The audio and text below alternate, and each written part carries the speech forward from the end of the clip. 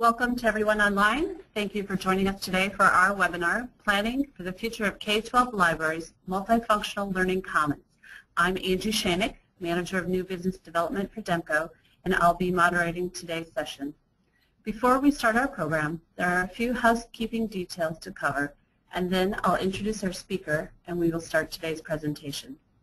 On your screens, you should see a chat box on the right-hand side. If you have a question or are having any type of technical issue, please type something there and we will address it as quickly as possible. There will be a Q&A session at the end of the presentation. If something comes up that you would like clarification on or want to respond to, please type it into that chat box. We will be monitoring this and compiling questions and comments to address at the end. Should we run short on time to address all of your questions, we do write up answers to everything and post them along with the recorded webcast after the event on ideas.demco.com. Contact information for Janet and myself should be on your screen, and we invite you to email us directly with specific questions we may be able to help you with. For all Twitter fans, today's hashtag is hashtag DemcoIdeas. The feed is visible on the side of your screen in the chat box. We are monitoring that as well for questions and comments. Now, just for fun, while I'm doing introductions, we are going to pop a poll question onto your screen to help us better understand today's audience.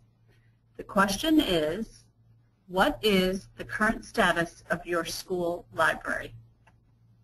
Please take a minute to answer, and I will share the results before we start our program.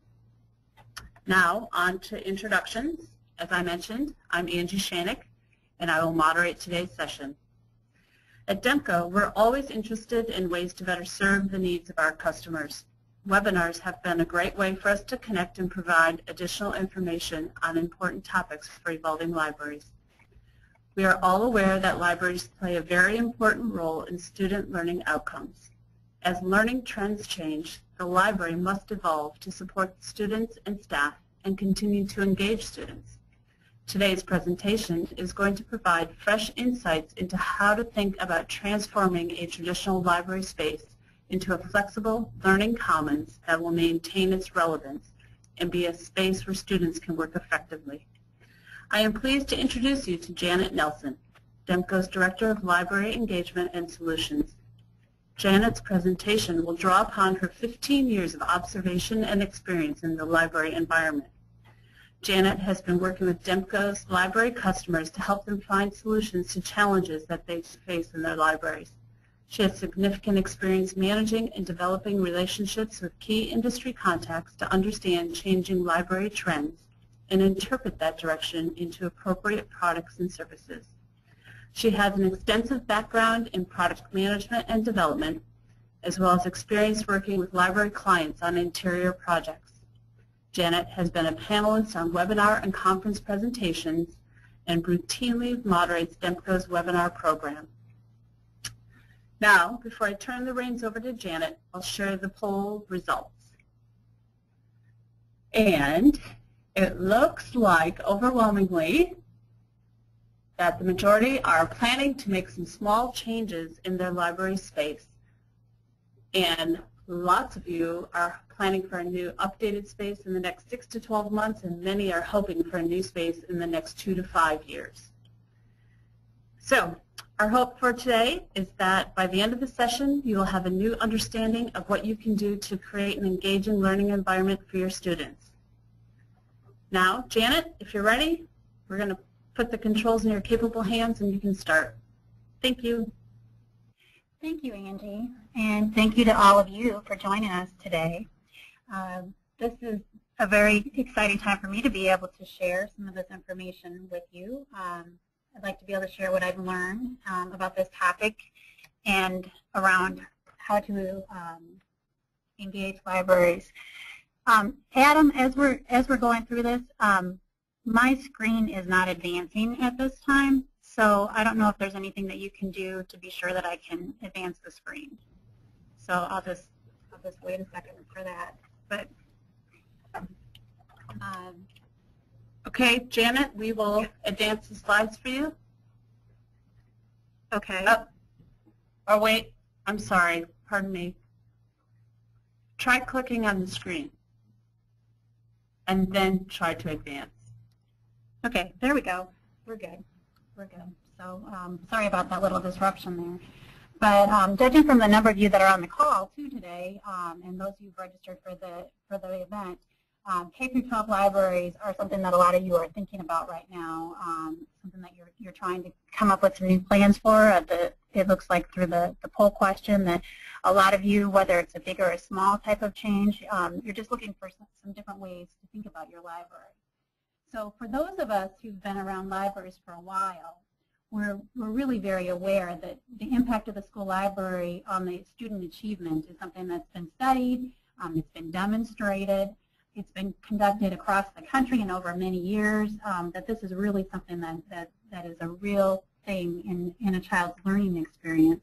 Um, and more recently, there's been a lot more focus around the space itself and the activities that are offered within that space. So playing a key role in attracting the students um, and getting them more effectively to use their libraries is something that a lot of people are really starting to think about. And there's more non-traditional types of activities that are occurring in the library. In addition, this is really a very important time for school libraries. Um, changing education models have really created new opportunities to help libraries retain their relevance in the education ecosystem. The school librarian and the library are resources that, that really have an impact across the entire student body and really beyond because they're very important to the staff, to the families of the students, and in a lot of cases to the community as a whole. So there's a great, amazing value that's really offered through these spaces and these services and the people that are involved with these. So um, the image in the background on this slide is of Hadley Junior High School in Glen Ellyn, Illinois. And last fall I had an opportunity to hear from the architects, um, FGM architects, and admin, an administrator from their school, and they really discussed how they went through a radical transformation process in this particular library. And it made this space into really the center of the library and the center of the community um, in how it how it became a part of that school and how important it was. And it was really encouraging to hear that story um, because it reinforced a lot of the things that you're going to hear about today. And finally, um, as we're kind of reviewing some of the things that I was reviewing some of the things that you wanted to learn. And one comment that really stood out um, was someone noted that they wanted to learn to be open-minded. And I really loved that comment because it was a great reminder on how it's easy for us to get kind of stuck in what we're doing and see things, um, you know, as they've always been. Sometimes it's difficult to really open up our minds and think about how things can be different, maybe view things through a different lens, um, think about how your students are looking at the space, and really create the best space for your students and your staff.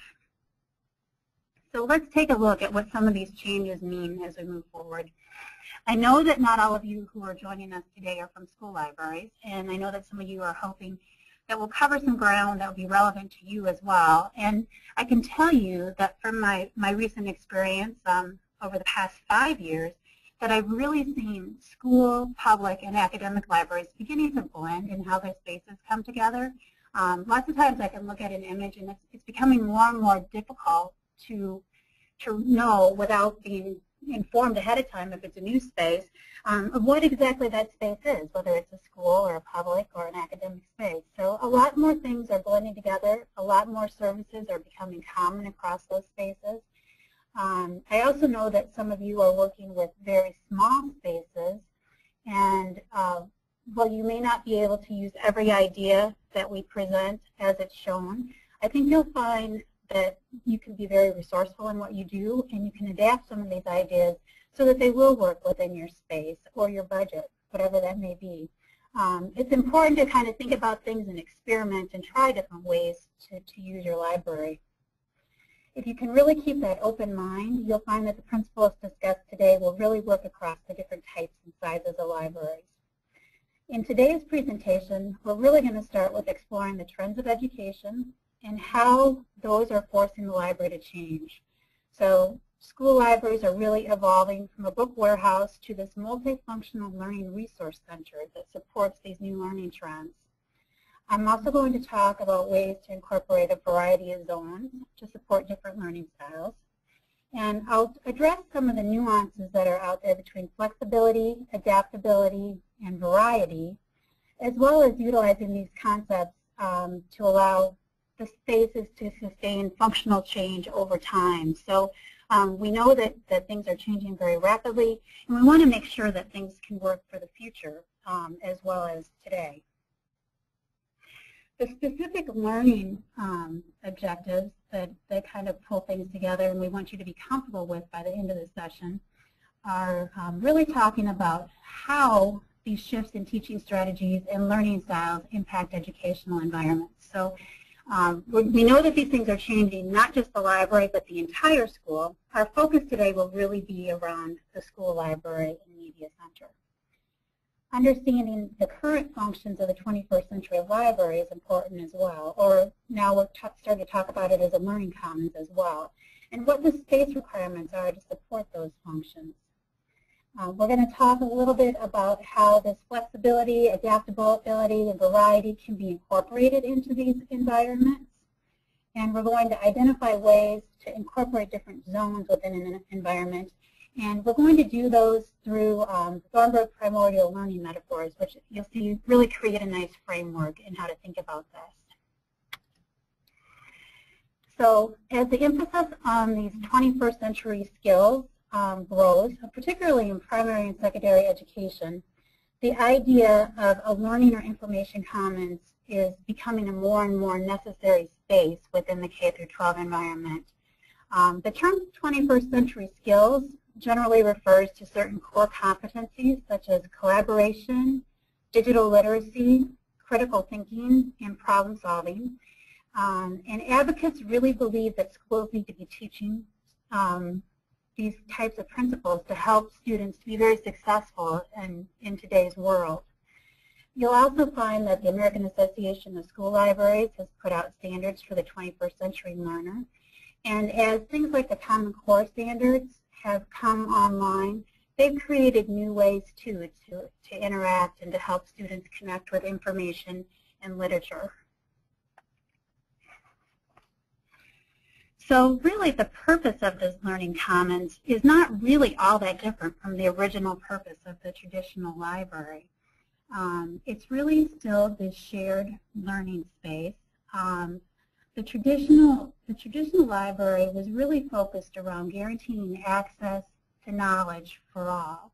And even though we're using different types of resources to, to access that knowledge today, really we're, we're still doing the same type of thing. We need to teach these different things and provide opportunities for learning, supporting literacy and education, and really helping to shape those new ideas and perspectives um, that are central um, to this creative and innovative society.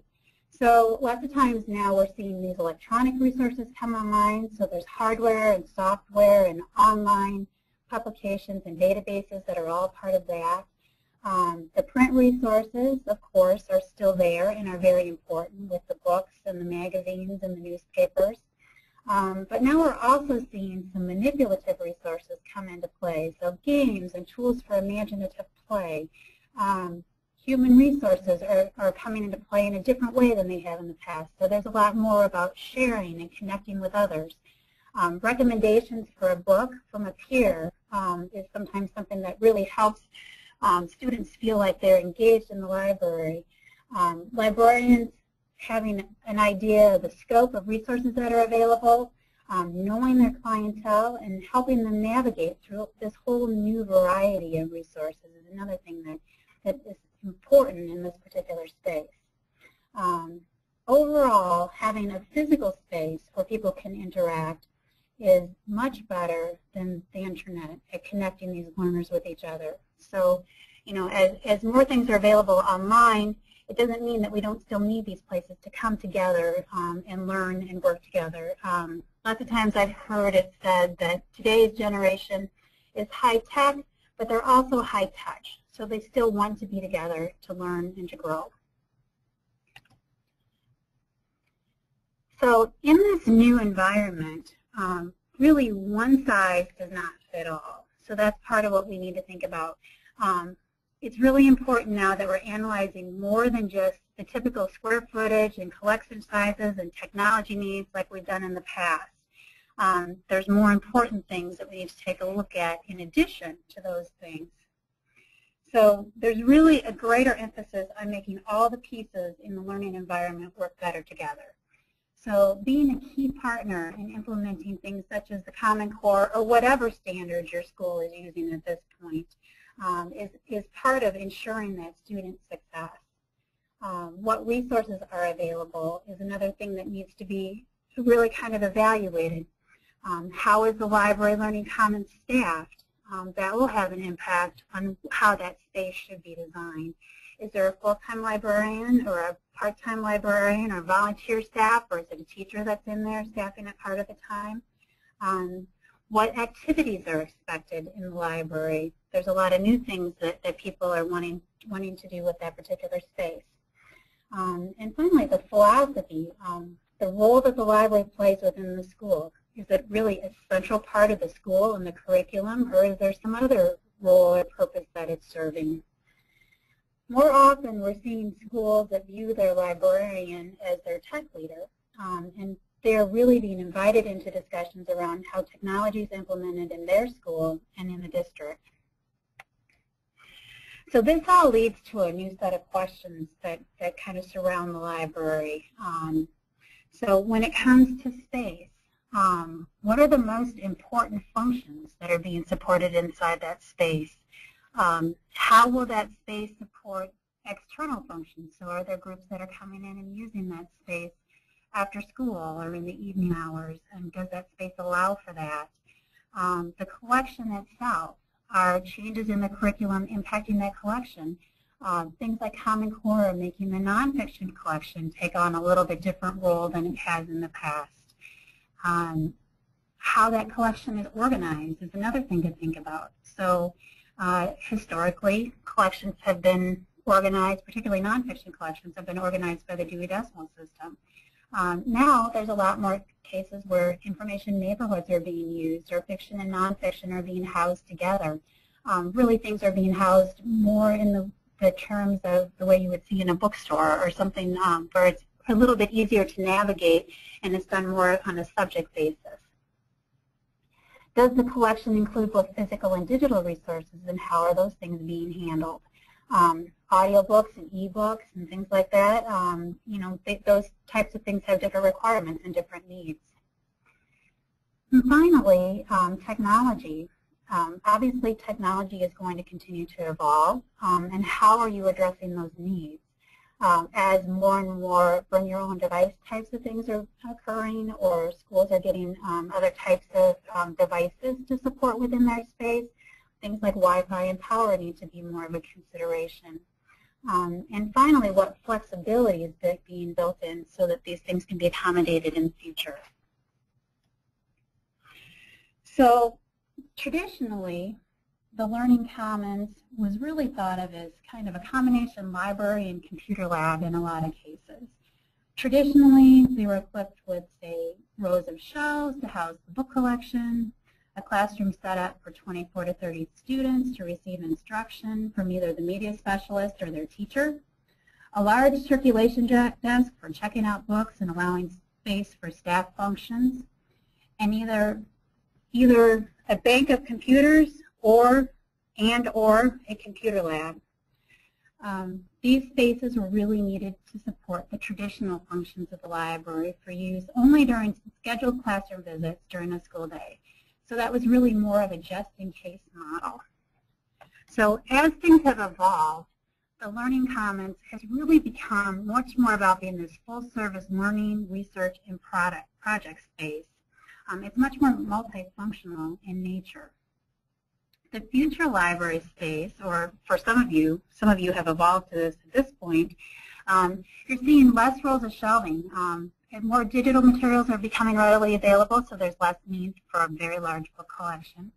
Um, lots of times the shelving's lower in height. Um, the collection is more a merchandise collection as opposed to something that's being warehoused. And lots of times that also helps to increase the circulation rates um, in, these, in these environments. As a result, um, part of what needs to be thought about is instead of planning for shelving for growth going into spaces, we think more about how we're going to leave the collection and create spaces for uh, additional functions. So students are encouraged to use the space beyond the normal school day, um, so not just when they have scheduled class times in there, but maybe at their lunch hour or before or after school. And this kind of creates this more just-in-time exploration of learning activities. The Learning Commons is also a flexible environment, so it can accommodate multiple learning activities and can change over time. So allowing the spaces to be reconfigured for different learning activities um, is, is an important thing, but flexibility is really more than just adding casters to the furniture or putting in a movable wall. So in the example you see here, this is a case where, where it's being able to put casters on products and to collapse them and move them around the space. Um, but you can also see that there's variety within the space that allows for a number of different activities. So that kind of brings us to these distinctions between adaptability, flexibility, and variety. So these things occur in terms of space, structure, and change. So this is really adapted from the book, um, The Language of School Design by Prakash. And if you haven't seen this book before, I suggest that, that you maybe take a look at it. it has a lot of really great ideas around the, the school as a whole, but I find a lot of them really, really adapt to the library quite well. And this idea of adaptability, flexibility, and variety is one of those ideas that I think works well here. Um, really, adaptability you can think about as the core stru structures within the building. So um, many of you may have seen these, these non-load-bearing interior walls that can be moved as needed. Um, those are things that maybe don't get changed frequently, but it does allow for change over time. Flexibility is something where the building users are allowed to change the space themselves. So movable walls, acoustical partitions, swing walls, we're seeing overhead garage doors that can open spaces up into other spaces, furniture on casters, all of those types of things enable this type of activity. Um, and these things can be changed over the course of days or weeks, or I mean, they can happen quite frequently. And then the other term that we're going to experience here is variety. So this allows users to change the quality of their space by just moving to another area. So in this case, you, you set up a number of different zones that can be used in different ways throughout a space. And you can use different types of furniture to accomplish this. And then there's you can instantly change. You don't have to move anything to get this to occur, but you can change as you need to do something different within that space. So we're going to just take a little bit closer look at this so you can really get an idea of what these spaces might look like or what I'm talking about here. So this is that adaptability. So in this case, you can see that wall that frames this space. Um, it's something that it's not even a full wall. Um, it's a partial wall. But it creates a, an idea of um, seclusion within this space. It kind of segments this area off. Um, in some cases, these things are completely closed off. If it's something where you need to be concerned about noise. But again, this doesn't create a permanent space within the building. You can move this as you need to. A great one for flexibility, of course, um, and I think a lot of us are probably aware of or have used these types of things, um, are some of these mobile table systems. So the nice thing here is that these table systems can be pulled apart and used to accommodate groups of different sizes as needed. Um, and it's very, very simple for the users to change this. There's not a lot of instruction required to, to undertake an activity like this. And then this image really talks a little bit about that whole variety concept. So you can see that there are a number of different spaces set up here that allow the users to go to a different place to do a different activity. And you can see even within these areas, you can still allow for a, a level of flexibility or change. Um, so it doesn't have to be a completely static type of situation. Um, so there's still flexibility to move the shelving around in this space or to change those tables um, to a single or a group use type of thing. So really, what we're looking for is a learning commons that's where the learner, the teacher, and the resources can really interact seamlessly. And designed properly, these spaces can really accommodate both the traditional and the 21st century functions simultaneously and provide comfortable zones that really help to support these functions. So it's really important to remember that when you're working within the library environment, the library tends to be, or tends to function in an and world as opposed to an or world. So what I mean there is lots of times librarians and libraries need to accommodate some of the old technology as well as the new way of doing things. So sometimes this becomes a conflict or becomes difficult when you're trying to work through um, the space that you have available um, or, or the needs that you need to support. But if you really think this through and, and do this well, you're able to accommodate both. So now we're going to move into um, David Thornburg's metaphors for primordial learning.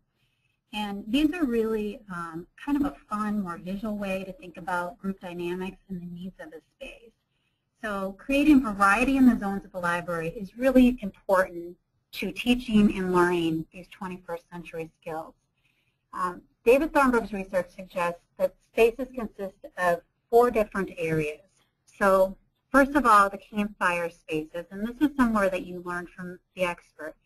And once we kind of do this overview, I'm going to start getting into some more specifics around how this works for each type of these spaces and give you some nice examples of, of what you can think of um, when you're working on these spaces within your library. So the watering hole would be where you learn from your peers. Cave spaces are spaces to learn from yourself. And life is kind of the idea of how you bring everything together and apply it to the real world. So the things that you learn in all these different spaces help you to be very functional in life in general. So these concepts really translate nicely into space design because they help to set up some of the zones that you can create within your space. So in this particular example, you can see that the shelving really provides a buffer between the different zones. So I don't know if everybody's used to looking at these plans, but you can see here, um, this is shelving, and this is shelving over here and over over here. And it's kind of, um, you know, it's kind of defining these spaces. It's creating a buffer between the different zones. And the collection really helps to frame the teaching areas and create breakout spaces for individual and collaborative work. So you can see the cave space is kind of stuck back here in a quiet corner. Um, the watering hole is up front. This would be your, your entrance to the space. Um, it can be a little bit, bit louder space. Um, and then your campfire space, which is really around your teaching and learning, is, is positioned here. And you can see that really have, kind of has some screens and things that help to, to section off this space as well. So looking first at the campfire spaces, um, there, there's a need within the school for both formal and informal campfire spaces. And the primary function of these zones is for an expert to impart wisdom, provide instruction, inspire students. Um, so here you're learning from the expert, and these are really your instruction and your lecture spaces. So probably what most of us are most, most familiar with. So this particular example is a, a, formal large lecture style, and these are really indicative of some of the teaching and learning spaces that many of us grew up with and we're probably more used to. Um, the formal spaces look more like a traditional lecture style classroom. Um, you can see that the teaching and lecture space is kind of in the front of the room. Oftentimes there's an interactive whiteboard or a projection screen or flat panel monitors that are visible to the whole area. Um, but even in this particular space, you can see that the furniture is still flexible, it can be reconfigured, and it can meet a number of different needs. Campfire spaces don't always have to look like that. So they don't have to be that standard setup with the that face where everyone faces the front of the room. Um, lots of times you're seeing in some of these learning spaces that um, now you can add a little bit more flexibility. Um, the furniture can be lightweight, fitted with casters. It can allow for students to easily move the furniture to change from a lecture style to a collaborative group work experience. And these larger tables can accommodate four to six students, um, and these are grouped. Um, traditionally, you may have seen a single table. Um, now we have a lot more flexibility when you can go to the smaller tables that can be grouped into smaller groupings. Not all campfire spaces are large group settings. So sometimes you have a formal small group style setting. Um, in this particular uh, example, these smaller spaces allow for more personalized instruction or tutoring. Um, lots of times with this new emerging concept of the flipped classroom, um, there needs to be a space where where students are able to, to really network with that that uh, that instructor. Um, students can learn new content online by watching their video lectures, usually at home, and, and now using the time at school to work on the homework or the assigned problems in class with the teachers offering more of that personalized guidance and interaction with the students instead of lecturing. So whether it's the teacher working with the students or the librarian working with the students, there's just a need for some of these smaller, smaller spaces. They can also be very informal and interactive. So the informal spaces are not purely designed to support that speaker audience situation, but um, easily support whatever function is needed in that particular space. These informal spaces usually incorporate comfortable and easily rearranged um, seating or furniture, like you can see in this particular space. They can be beanbag chairs or cushions, um, or there can be enough floor space that the group can sit in, on the floor in a circle or, or things like that. So they don't have to be real, real formal. Um, you'll also see in many cases um, they look somewhat, they can look somewhat like a traditional storytelling space um, that, that's been found in a library. Um, but lots of times now they can incorporate more interactive technology within the space. So the next space we're going to take a look at are our watering hole spaces. So in these particular spaces, remember we're learning from the peers. So um, group study and collaboration spaces, some of the big, big trends that we're seeing um, in teaching and learning. So you can see in this particular situation, um, this one's using some lounge seating. So these are grouped um, in two settings. They could be pulled together to be one setting. So again, you can change the size of your group. Um, but really, they're designed with a focus on creating comfortable spaces for students to interact with one another. So the primary function, collaboration, sharing of ideas, um, an important concept as teamwork and projects become a more important part of the curriculum. Again, the idea is that teaching and learning does not always have to be facilitated by an expert. Really, students are expected to learn from each other. Um, lots of times now, just as much as learning from the experts, and it gives them the opportunity to explore. Um, again, easily reconfigured to support groups of different sizes.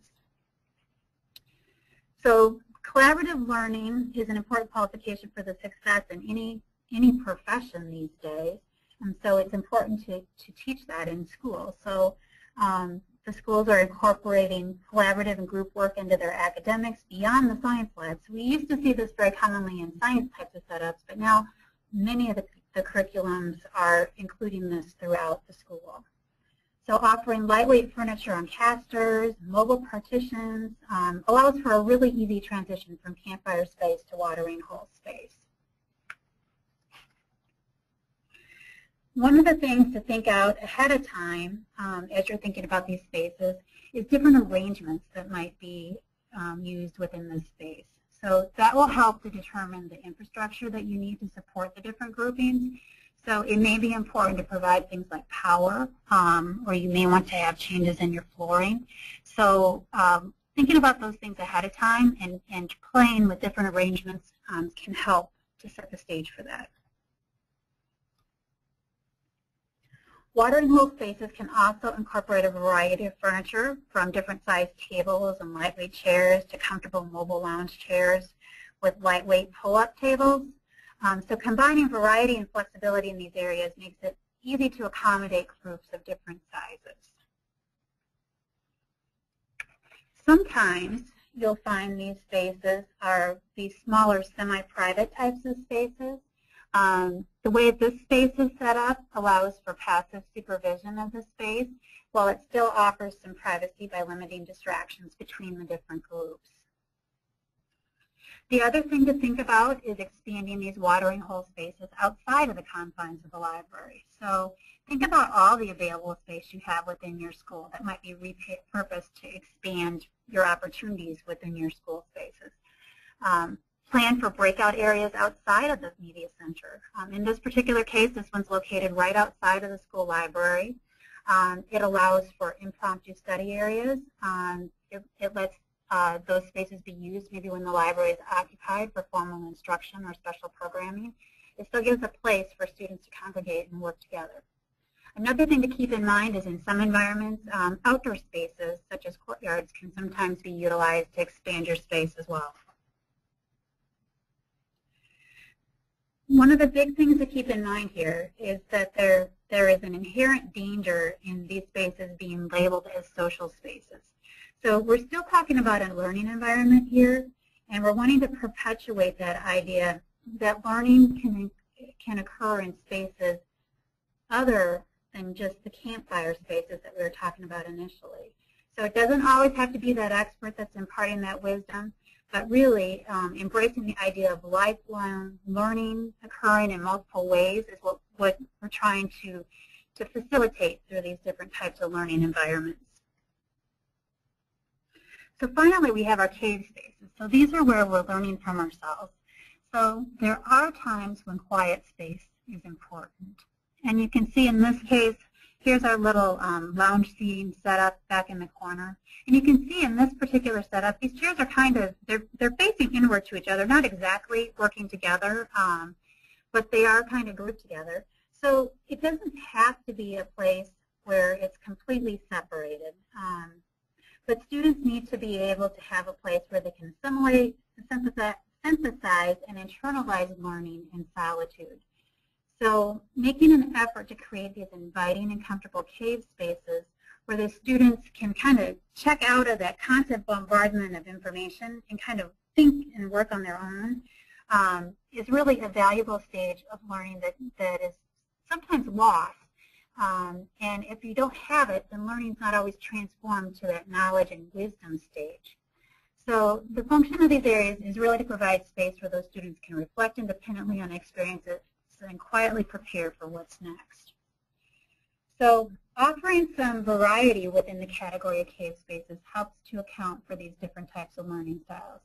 So a cave space doesn't need to completely be enclosed. Um, simple alcoves that leave space for an arrangement of beanbags or individual lounge chairs on casters are a perfect escape for students who aren't easily distracted by the activity that's going on around them. So they can support that individual work um, and kind of give them that separate space. But again, they don't always have to be completely um, removed. For solitary learners, it's important, though, to block out distractions. So sometimes providing a more cave-like area that's set away from other activity or small study rooms that can offer these students a comfortable zone for quiet reflection or preparation and study is an important thing to think about. So it kind of creates that escape where students can get away. A mobile screen like the Walter product that you see on the right allows for a space to be created wherever it's convenient. So in that case, it's a mobile space that can be moved to wherever it's needed and can be kind of separated from, from the rest of the fray. Sometimes you'll find some of these cave spaces built in as architectural features within, within the space. So these features can be sometimes unexpected and fun, um, and they can add this functional um, and added fun into the space. Oftentimes supervision is a concern in K-12 environments, um, but really it shouldn't deter you from kind of planning some of these spaces in anyway. Um, two or three solid or semi-solid sides on a space can kind of provide that sense of enclosure without limiting that supervision.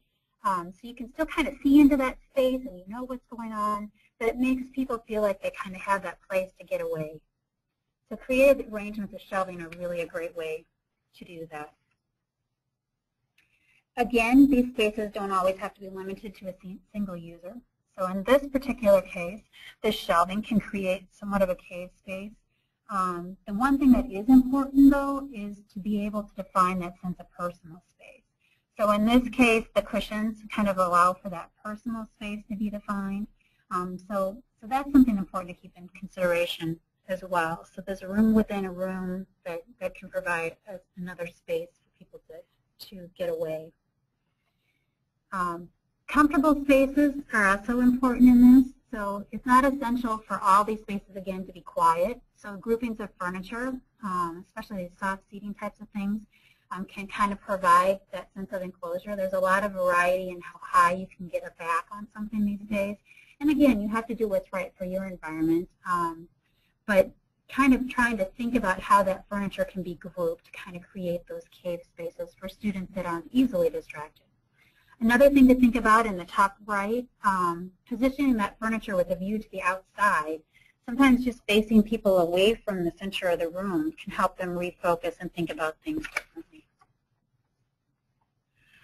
And finally, a Learning Commons is really a technology-rich space as well. So according to School Library Journal's um, 2013 Technology Survey, 72% of school library librarians say that they're viewed as the tech leader in their school.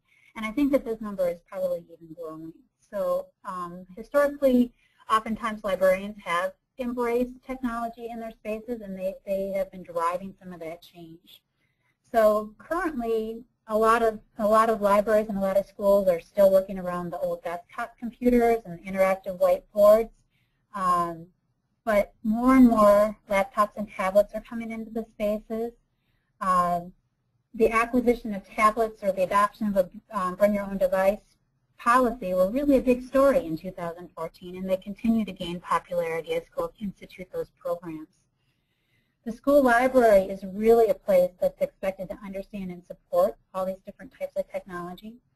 Um, so the nice thing about a school library as opposed to the public library is that oftentimes there's a little bit more control over the types of devices that are being introduced into that environment.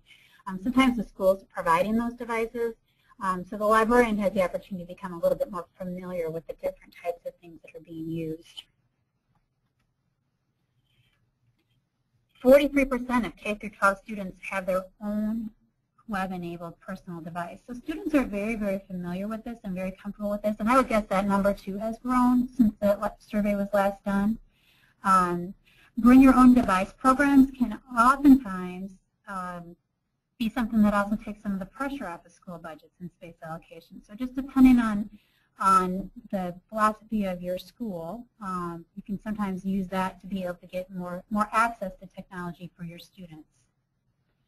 Now, as these personal devices become more acceptable in this setting, um, libraries may not need to dedicate as much space to permanent fixed furniture that supports things like desktop computers.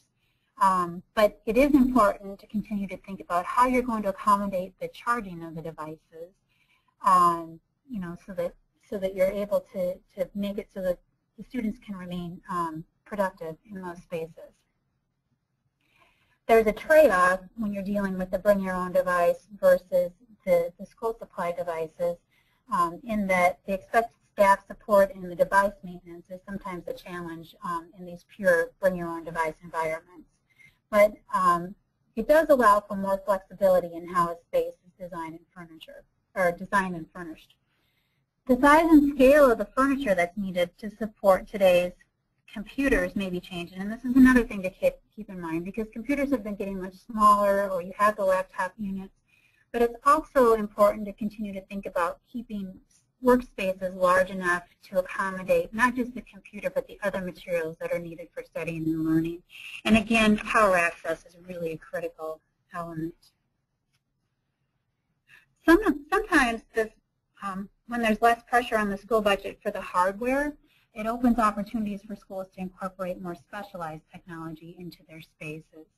So a lot of students and teachers are really expecting the library to be a place where they can come and learn about new technologies. And many schools are already incorporating audio and video creation spaces and distance learning tools into their programs. Um, students are developing more and more sophisticated presentations and projects as part of their learning experience. And this, the school library is really an ideal place for some of those activities to occur far more hands-on opportunities give students really an edge in their educational career as well as in their future workplace. Maker spaces and library spaces that are allocated for these creative and open-ended activities are becoming more, more and more common. And again, I would guess that these statistics have jumped up quite a bit too. 20% 23% of schools had them in 2013 when the study was done, and 9% were planning for them. And just what I've seen um, in the popularity of these spaces and, and, kind of the attention that they've been gaining, I, I think that we're seeing a lot more of that. Oftentimes, middle schools are the most common place for this. Um, many people think of 3D printers as the defining hardware for the makerspace, but the broader sense um, of the term really opens up endless opportunities to provide children with tools to experiment and learn and create and do different things within that space. Some schools are offering robotics club and Minecraft and computer programming and, and lots of different activities. STEAM and STEM are kind of driving this as well. So uh, creating this platform for hands-on learning in the school maker place um, makerspace is something that, that really is can be an important element or something important to think about in drawing students into your space. Um, these spaces are much more interactive and engaging than some of the traditional learning spaces, but lots of people do better when they're, when they're learning by doing or visualizing things. Um, this particular um, graphic came from the Education Closet, which is an online resource, and it illustrates the different skills that kind of utilize are utilized in this hands-on work. So really being able to get in there and investigate, discover, connect, create, and reflect on what you're learning, and being able to do that together is a great thing as well. So within these maker spaces, you find high-tech and low-tech spaces that are appropriate to all ages. So um, in this particular case, you see high school students working on a LEGO robotics project. Um, the top right is a very low um, tech tinker space, so a lot of hands-on activities there.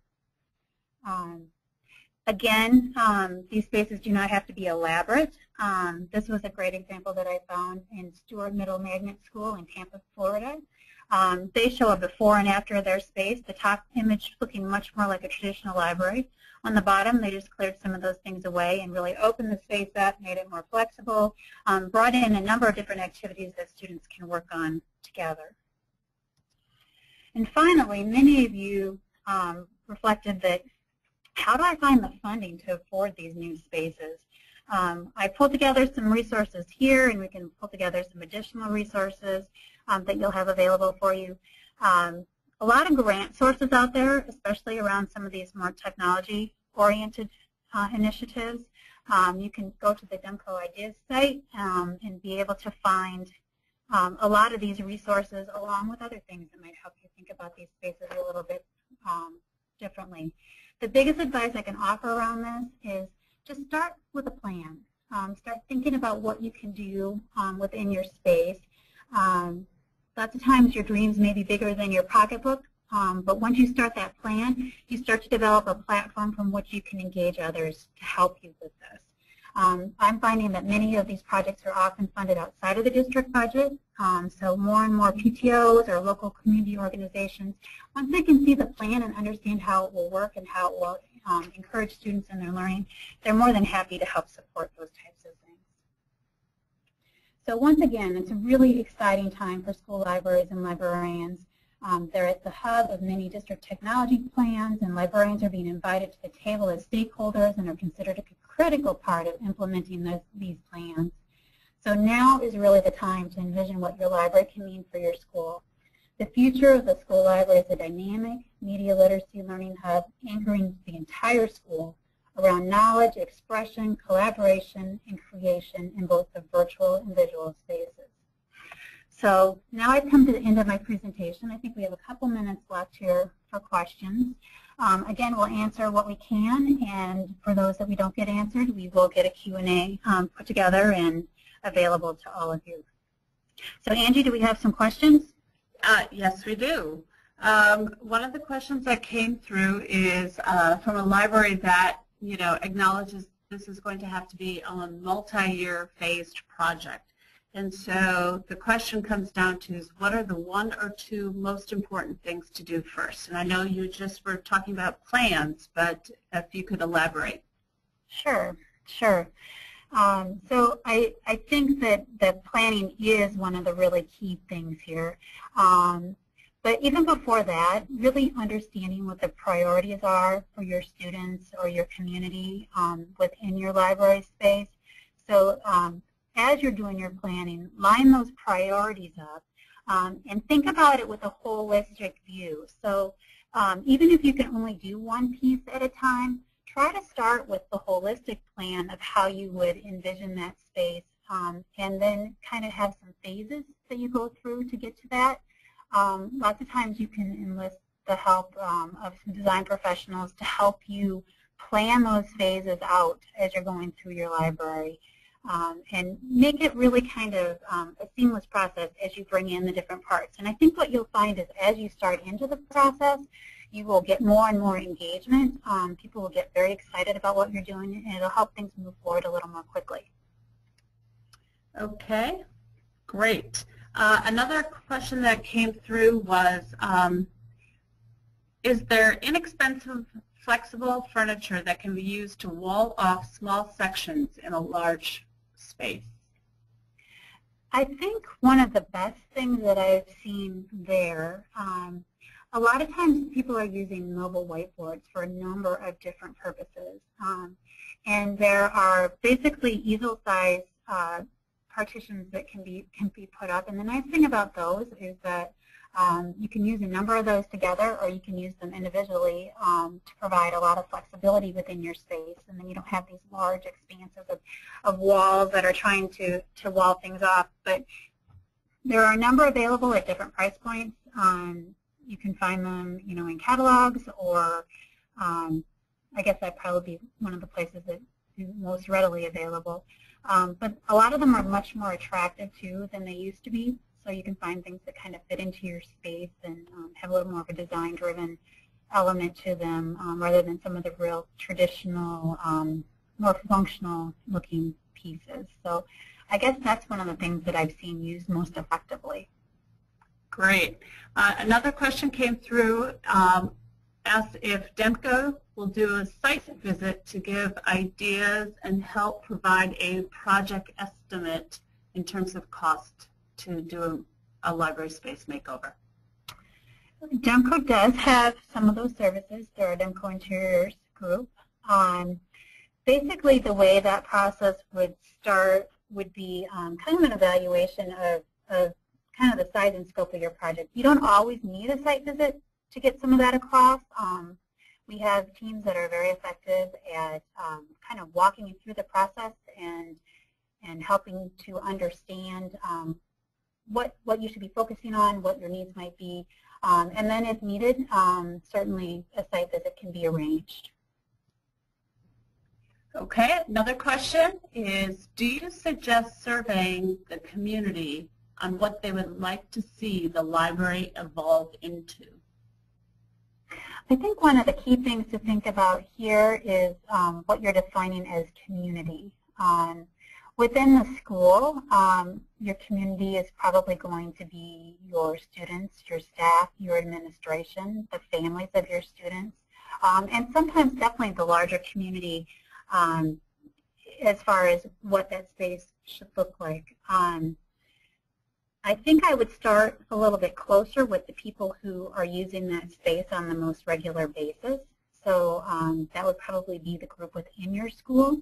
Um, however, if you're trying to get support from your broader community, um, whether it be financial or um, you know what, whatever other type of support the community may be able to provide you, um, then it might be important to pull in some of those outside folks. But I think it's most important to really strive to meet the needs of the majority of people who, who may need services within your library. And they may not always be your current users, but the people who you really think should be using your library or could be using your library in a more effective way. Okay, this question kind of uh, just takes that a little bit step further and, and also ties it back to your earlier comments about planning. Uh, but the question came in about which stakeholders do you recommend inviting to the planning process? Um, you know, that's, that's an interesting one because um, part of it may, may revolve around whatever your, your situation is within your particular school or, or library. Um, but certainly you're going to need buy-in from your administration, so you're going to want, want them involved. But I think hearing from the students and the staff is, is really important um, because, again, they're the ones who are going to be using the space. Um, the success of your environment is going to be how actively they're using that space. Um, so I think it's extremely important to make sure that they're invited to the table as well. Um, and sometimes we think about these spaces and we think we know what they want, but it's really important to ask them um, and engage them in that process. Um, again, if it's, a, if it's a larger project where you're going to be using some design professionals, it's great to get that outside perspective. And it's also good to visit other spaces um, when you're kind of going through that whole process. You wouldn't necessarily include them as your stakeholder, but really, um, you know, kind of looking at what all is available. So you can even bring some of that, that insight back to those key stakeholders so they can really start to envision what might be possible. Okay, and I think we have time for one last question, and um, this gets a little specific. So uh, somebody asked, what technology do you suggest for grades K through 5? Yeah, I think that's really going to depend on what the technology objectives are for your district. Um, and I'm not sure if you're if you're looking at um, technology to access resources or some of these things more in the, the maker environment. Um, but I think it's becoming much more common to have um, tablet computers or e-readers or things like that available um, to have students start to explore that way. Obviously, your standard computers um, are something that's still necessary, um, whether they be laptops or desktops or, again, being used through the tablet environment. Um, it's really nice to have some type of an electronic whiteboard or um, an electronic screen that, that can be used within a touchscreen type of device um, within that environment. Um, when you're talking about like makerspace types of things, um, oftentimes the Lego robotics types of things are very popular with kids, um, Arduino, um, a lot of the things that you might find through Make Magazine um, can be good resources if you're looking at it from that particular um, aspect. Um, but again, I mean, make sure they're geared towards the appropriate age and the, and the technology and curriculum goals of your particular school. Great. Thank you, Janet. Uh, we have just a couple of minutes, so we're going to wrap things up. But I would like to thank Janet for sharing your insights and ideas around the evolution of the school library. We hope that everyone discovered a few new ideas to try. There was a lot of great uh, examples shown, so thank you very much, and thank you for sharing all of your time with us today. Uh, we do have a brief survey that uh, all attendees will receive shortly, and we would like to ask that you take a few moments to fill this out and let us know how we did. We welcome comments and ideas on other topics of interest or speakers that you would like to hear from. Uh, and we do use this feedback and suggestions and that has helped shape our current program offering. So your feedback is very valuable in making these sessions even better over time. Tomorrow, all attendees will receive an email with a link to this webcast presentation so you can view it again and share it with your colleagues. And next week, everyone will also receive a second email with additional resources including the slide presentation and a Q&A log of all the questions we fielded today. So that will be available to you. Again, thank you for taking the time to join us. And uh, our next webinar is on March 19th, and that is going to be presented by Susan Gunnewig from Hatch Early Learning, and she will be presenting STEMsational Learning, what to look for in early childhood programming. And you can also uh, visit demcoideas.com for the upcoming webinar schedule. So again, we're so glad you were able to join us today and hope that you will do so again. Hope everyone has a wonderful afternoon. Thank you.